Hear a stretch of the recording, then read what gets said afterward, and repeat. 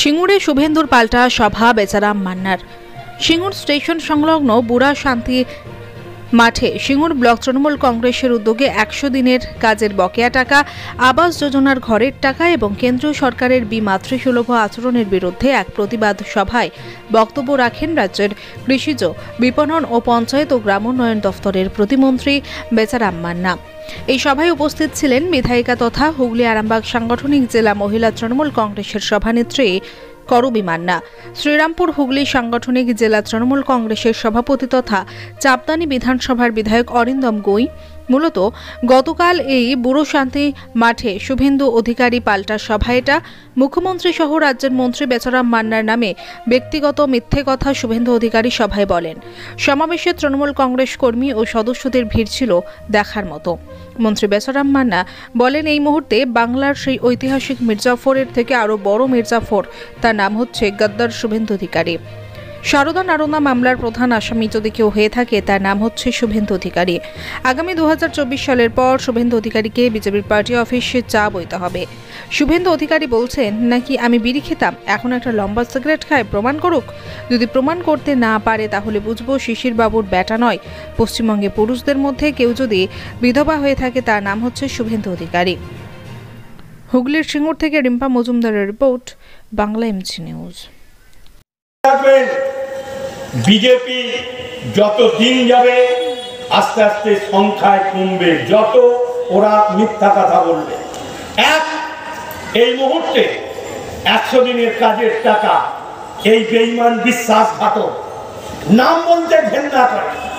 এই বিশ্বাসঘাতক গদ্দার অধিকারী, সে একটা চিঠি দিয়ে আমাদের রাজ্যে দু কোটি চুয়ান্ন লক্ষ গরিব মানুষের একশো দিনের কাজের টাকা আটকে দিয়েছে। আটকে দিয়েছে। এবং জেনে রাখুন, এখানে এগারো লক্ষ ছত্রিশ হাজার গরিব মানুষের বাড়ি তৈরির নাম লিস্ট হয়ে গেছে।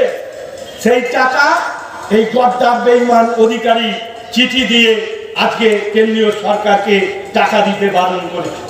এরপরেও এরপরেও মানুষ ওদের ক্ষমা করবে। আমাকে অনেক সাংবাদিকরা বলেছিল, ভাই এক কাজ করো শুভেন্দু আজকে গোবর জল দিয়ে গঙ্গা জল দিয়ে ভালো করে ধো। আমি বললাম ভাই এত খাটতে যাব কেন? এত খাটতে যাব কেন? বাংলার মানুষের ও যে ক্ষতি করেছে বেইমান বিশ্বাসঘাতক আমরা ইতিহাসে মির্জাপুরের কথা শুনেছি। এই মুহূর্তে বাংলার সেই ঐতিহাসিক মির্জাপুরের থেকে আরও বড় মির্জাপুর কেউ যদি বাংলার মানুষের হয়ে থাকে, তার নাম হচ্ছে এই অধিকারী গদ্দার অধিকারী এটুকু জেনে আজকে দু লক্ষ চুয়ান্ন দু কোটি চুয়ান্ন লক্ষ মানুষের পেটে লাঠি মারে মানুষের হাতে পয়সা নেই। গরিব মানুষের বাড়ি বাড়ি ভেঙে পড়েছে, ত্রিপল দিতে হচ্ছে। আজকে জেনে রাখবেন, ওরা বলছে দুর্নীতি হয়েছে। এ রাজ্যে তিনশো, তিন হাজার তিনশো একচল্লিশটি গ্রাম পঞ্চায়েত রয়েছে।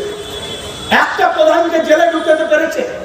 ওরা তো ইডি সিডিআই আইকারের হুমকি দেয় একটা প্রধানকে পেরেছে। আমাদের জেলায় দুশো জন প্রধান আছে। একটা প্রধানকে পেরেছে জেলে ঢোকাতে। একশো দিনের কাজের দুর্নীতি পারেনি, পারবে না। মানুষকে বিভ্রান্ত করছে। এ রাজ্যে কেন্দ্রীয় স্কিম আটষট্টি বার এসেছে। প্রতিবারই বলেছে, না, কোনো দুর্নীতি হয়নি। এটা রাজনৈতিক কারণে আটকেছে দেখেছে, আজকে গোবিন্দ সিং কায়দায় যেরকম সিপিএম মিথ্যা কথা বলত মিথ্যা বলতে বলতে মানুষকে সত্যিতে পর্যবেসিত করত। অর্থাৎ মিথ্যার কাউন্টার যদি না দেয়া যায়, তাহলে মানুষ একদিন সেটাই সত্যি হিসেবে ধরে যাবে।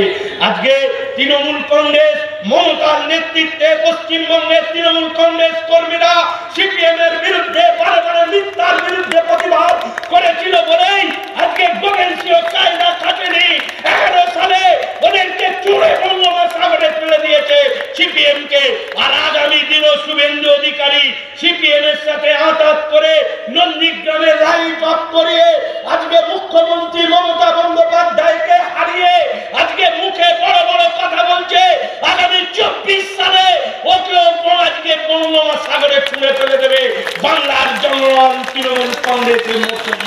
জেনে রাখবে আজকে বলছেন চোর বিধানসভায় বলছে তৃণমূলের সব চোর।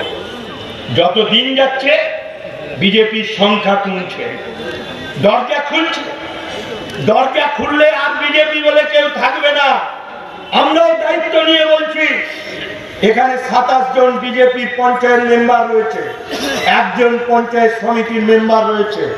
আমি মন করলে একদিনই সবাইকে জয়েন করিয়ে দিতে পারি। আজকে করে না? আজকে? এটা জেনে রাখবেন, আমি দায়িত্ব নিয়ে বলছি, বেচারাম মান্না সিঙ্গুরের নেতৃত্ব দেয় বলে বিজেপির নেতারা এখানে শান্তিতে বাস করতে পারে, শান্তিতে বাজার যায়, শান্তিতে রাস্তায় চলাফেরা করতে পারে।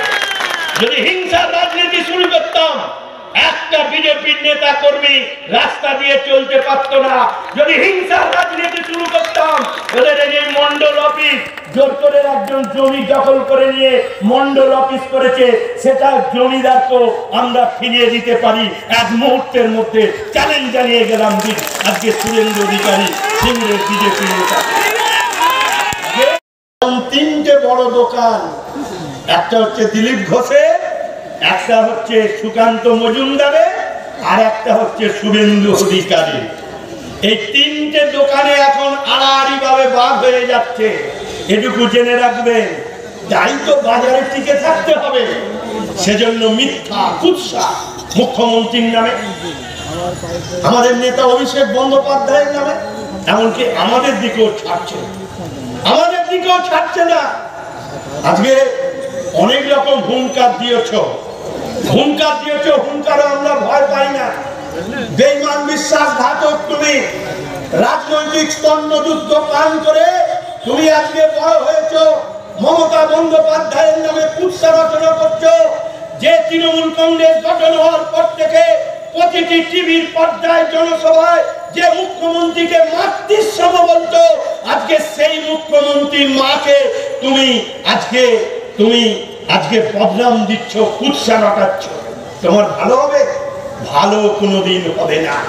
যত দিন যাবে, তত তুমি জিরোয় পরিণত হবে।